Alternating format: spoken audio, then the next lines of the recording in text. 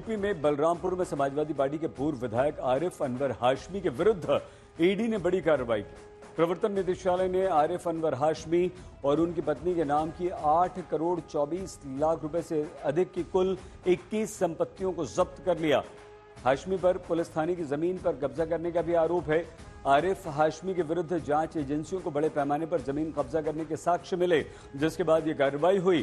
प्रवर्तन निदेशालय यानी कि ईडी की ओर से जारी बयान में कहा गया कि बलरामपुर से उतरौला सीट से समाजवादी पार्टी के विधायक रह चुके आरिफ अनवर हाशमी और उनकी पत्नी रोजी सलमान के विरुद्ध पीएमएलए एक्ट 2002 के तहत कार्रवाई की गई और 8 करोड़ 24 लाख रुपए की कुल 21 संपत्तियों को जब्त कर लिया गया है। ईडी की ओर से यह कार्रवाई विभिन्न जाँच और साक्ष्यों के सामने आने के बाद की गई। इससे पहले आरिफ अनवर हाशमी और उनके परिजनों को भू माफिया घोषित भी किया जा चुका है और पहले भी 100 करोड़ रुपए की इन लोगों की संपत्ति को सरकार जब्त कर चुकी है। अब देखिए यहाँ पर ईडी ने जो ताज़ा कार्रवाई की है, उसमें कुल 21 संपत्तियाँ हैं और इसमें कमर्शियल प्लॉट्स हैं, दुकानें हैं फ्लैट्स हैं फार्म हाउस से लेकर खेती की ज़मीन तक शामिल है ये कार्रवाई। लखनऊ, बलरामपुर, गोंडा तीन जिलों में हुई, जहाँ इनकी संपत्तियों का पता चला है। अब इससे पहले समाजवादी पार्टी के विधायक रहे आरिफ अनवर हाशमी के विरुद्ध जो मुकदमा कायम किया गया था, उसमें अवैध मजार बनाकर थाने की ज़मीन पर कब्जा करने का भी इन पर आरोप लगाया गया था। आरिफ अनवर हाशमी उनके भाई मारूफ अनवर हाशमी और अन्य परिजनों के विरुद्ध सैदुल्लाह नगर थाने में मुकदमा दर्ज हुआ था। आरोप ये था कि इन लोगों ने सरकारी अभिलेखों में छेड़छाड़ करके थाने के अंदर की ज़मीन कब्जा कर ली।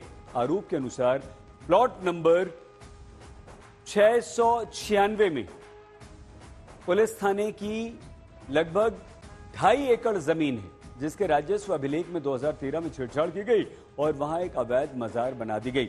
आरिफ अनवर हाशमी के भाई मारूफ अनवर हाशमी को उसका मतवली बना दिया गया और इस तरह से कब्जा कर लिया गया।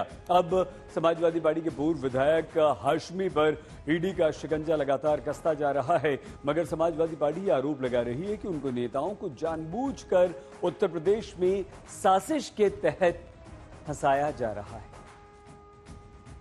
अगर उत्तर प्रदेश की योगी सरकार अपराध और अपराधियों पर नकेल कसने का काम कर रही है अपराधियों के प्रति ज़ीरो टॉलरेंस की नीति अपनाने का काम कर रही है उत्तर प्रदेश को एक सुरक्षित और भयमुक्त अपराध मुक्त बनाने का काम कर रही है तो इस बात से समाजवादी पार्टी के लोगों को परेशानी नहीं होनी चाहिए।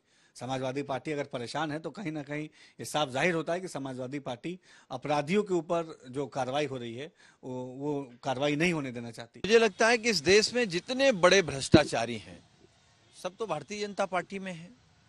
इस देश में कितने लोगों पर सीबीआई ईडी इनकम टैक्स या जीएसटी का जब छापा पड़ता है तो अगर वो भारतीय जनता पार्टी ज्वाइन कर लेता है तो पाक साफ़ हो जाता है। क्योंकि उत्तर प्रदेश में 2024 का लोकसभा चुनाव हारने के बाद भारतीय जनता पार्टी बौखलाई हुई है। समाजवादी पार्टी को कैसे बदनाम करें, उनके नेताओं को कैसे फंसाएँ, उन पर फर्जी मुकदमा कैसे लगाएँ और उनको जेल भेज करके समाजवादी पार्टी को बदनाम कैसे करें?